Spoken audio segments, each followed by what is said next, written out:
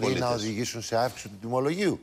Αυτός είναι ο φόβος. Ο πολίτης σου λέει: Χρωστάμε στη ΔΕΗ, παιδιά, πληρώσουμε εμείς μπαίνει και αυτούς. μέσα, θα πληρώσουμε εμείς. Το ζητούμενο είναι να μην οδηγηθούμε σε αύξηση, αλλά αντίθετα να εκμεταλλευτούμε την διεθνή πτώση των τιμών πετρελαίου και αερίου καυσίμων, έτσι ώστε τακτοποιώντας ένα μέρος αυτών των χρεών προς τη ΔΕΗ, να μπορέσουμε το 16 να δούμε το θέμα της μείωσης των τιμολογίων. Αυτή είναι η δικιά μας προσέγγιση στο θέμα. Υπάρχει τέτοια προοπτική. Βεβαίως, Για τα υπάρχει. νοικοκυριά Βεβαίως. μιλάτε. Για τα νοικοκυριά μιλάμε.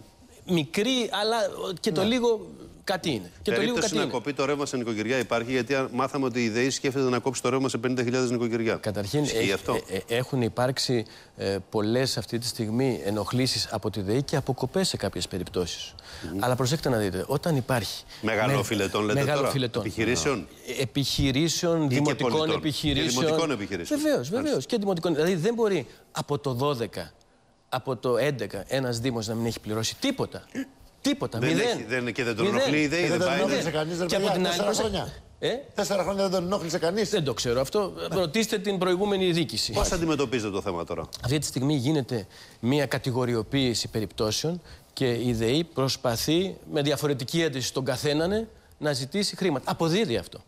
Είχαμε περίπτωση μιας περιοχής, γεωγραφικής περιοχής, ήταν συγκεκριμένα, Nice. ε, που ήταν 12 δήμοι οι οποίοι είχαν τεράστια χρέη, δεν είχαν πληρώσει τίποτα τα τελευταία χρόνια. Όταν πήγε η ΔΕΗ να τους κόψει το ρεύμα, την αγνοήσαν. Τη δεύτερη φορά πήγε και το έκανε για κάποιες ώρες. Οι 8 δήμοι μπήκανε, δώσανε και μπήκανε σε μια ρύθμιση. Αυτό σας Δήμοι λέω. στην Αποδίδει Αττική- δηλαδή στην η προσπάθεια Αττική για είναι οι νοικοκυριά. δήμοι αυτοί ή όχι, αλλού; όχι, εκτός Αττικής. Εκτός Αττικής. Εκτός Αττικής.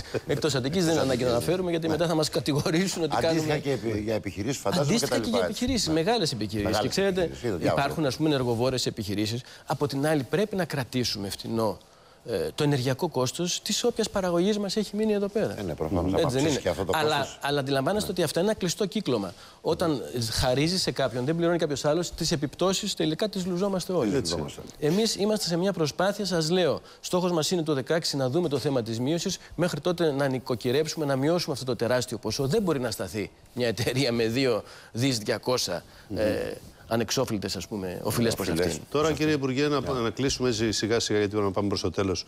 Στο ευρύτερο πεδίο, η κυβέρνηση πιστεύετε ότι μπορεί να καταφέρει τελικά να τα βγάλει πέρα. Θα χρειαστεί ευρύτερες συνενέσεις. Ενώ και στην πράξη, όχι στα λόγια, το να λέμε συνενούμε, εμείς ψηφίζουμε σήμερα αυτό το νομοσχέδιο, αύριο δεν ψηφίζουμε ή πιέζουμε. Ευρύτερες συνενέσεις μπορεί να χρειαστεί η κυβέρνηση και να τις κάνει πράξη. Εγώ πιστεύω καταρχήν στην παρούσα φάση στις συνενέσεις μέσα στην ίδια την κοινωνία.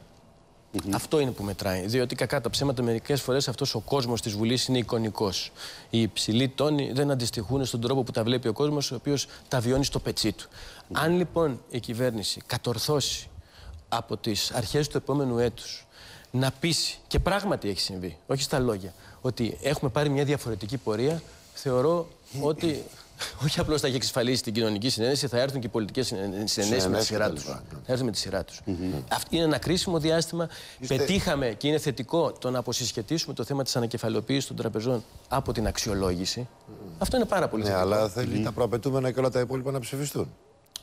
Κατά... Για να πέσουν τα 10. Ναι, αλλά έχουν, τα, καταρχήν είναι η υποδόση των ε, δύο Εντάξει, των δύο δις. Τώρα. Ε, ναι. ε, να σας το πω άλλη, άλλη φορά, ποτέ δεν είχε γίνει τέτοια τακτοποίηση εκρετημο- εκρετημο- εκκρεμωτήτων σε ένα τόσο σύντομο χρονικό διάστημα. Αυτό δεν το λέμε μόνο εμείς, Αντέχετε το λένε πολι- και άλλη πλευρά. Αντέχετε όμως πολιτικά το γεγονός, αντέχετε με ε, ως κόμμα και ως κυβέρνηση πολιτικά το γεγονός ότι είστε υποχρεωμένοι ή κάνετε και επιλογές που είναι σε απόλυτη αντίθεση με τα όσα. ε, όχι, όχι μόνο έχετε πει, θα έλεγε κανείς και με το DNA του χώρου σας. Είναι μια μεγάλη αντίφαση.